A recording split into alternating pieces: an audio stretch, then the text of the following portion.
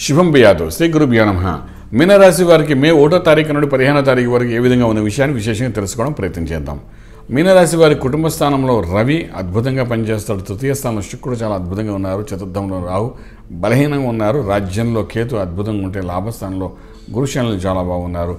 వ్యయంలో కుజుడు మాత్రం కొంతవరకు నష్టపరిచేటట్టుగా కనిపిస్తున్నాడు. Okay fine.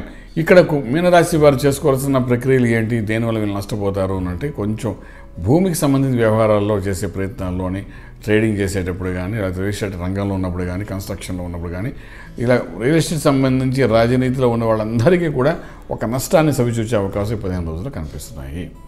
కుజుడు చాలా బలహీనంగా ఉండడం తర్వాత వచ్చినా కూడా కుజుడు వచ్చినా కూడా శని దృష్టి కుజుడి మీద పడుతుంది. కానీ దానివల్ల కూడా కొంత నష్టం జరిగే అవకాశం ఉంది. సో ఇది గట్టుకాలమే చెప్పచ్చు మీనరాశి వారికి ఓ రకంగాను.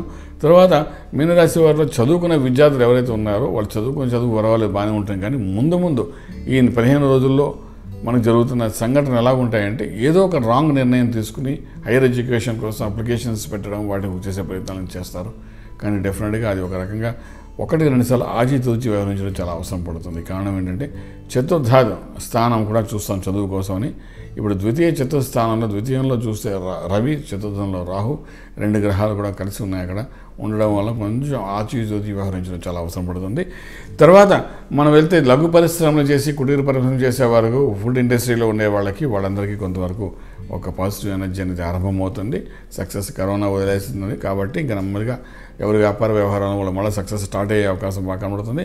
వీళ్ళకి ప్రత్యేకించి ఏంటంటే ఒకరు చెబితే వినే రకంగా ఉండరు. ఏదో ఒక లోకంలో ఉంటారు కాబట్టి వీళ్ళని దగ్గరగా పెట్టుకుని ఏదైనా వ్యాపారం చేసి తర్వాత వాళ్ళని అందరూ పూజ పెట్టడం వల్ల మనకు ప్రాఫిట్ కనబడే అవకాశం బాగా కనబడుతుంది ఆ విధంగా కూడా ప్రయత్నం చేయొచ్చు. ఏదైనప్పటికీ కుంభ మీనరాశి వారికి జాతకరీత్యా చూసినప్పుడు ద్వితీయంలో రవి చాలా అద్భుతమైన ఫలితాన్ని ఇవ్వడానికి అవకాశం ఉంది కాబట్టి మేధా దక్షిణామూర్తి మంత్రాన్ని కూడా సాధన చేసుకుంటూ ముందుకెళ్ళడానికి ప్రయత్నించండి డెఫినెట్గా ఆ మంత్ర బలంతో లైఫ్ సెటిల్మెంట్స్ కావాల్సిన ఏర్పాట్లు జరిగే అవకాశం బాగా కనిపిస్తుందని చెప్పగలుగుతాం. రాజమార్గంలో రాజ్యం పొందగలుగుతారు. శుభం వ్యాధం. పూర్తి వివరాలకు సంప్రదించండి. శ్రీ వేదమాత గాయత్రి జ్యోతిష్యాలయం. Brahma Shrimanta Suryanarayana Sharma. Srinilayam first floor one not one. Sai Vaibhav layout Chitrapuri colony Khajaguda Hyderabad five lakhs eight.